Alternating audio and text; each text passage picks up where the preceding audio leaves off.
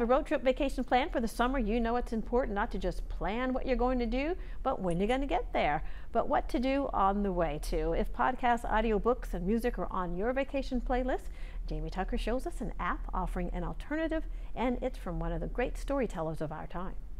The man behind this app is Kevin Costner, yeah, the actor. And the idea is to give people on a road trip, maybe a family vacation, the opportunity to have a tour guide in the car telling them what's around them.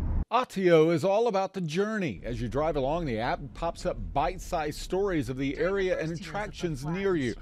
You'll still get to listen to your music podcast or whatever, but anytime you get close to an interesting story, Autio sends a notification that a story about that area is available. Two weeks prior to this, the duo of Lester Flatt and Earl Scruggs also Kevin Costner and developers enlisted voice actors and celebrities to narrate this drive through Wyoming. You might otherwise miss something interesting along the way. And the dog soldiers were disgraced.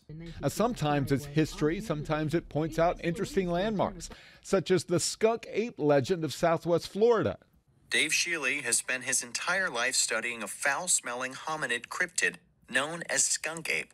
Which has Stories are only two minutes or so. Autio has over a hundred stories in each state. You can also look down the road to find other interesting stories you can save for later. It's a tour guide for the open road. The Autio app is available only for iPhones right now. Five stories are free. It's $30 for a month or $36 for a full year of road trip stories. I'm Jamie Tucker, and Autio is the app of the day.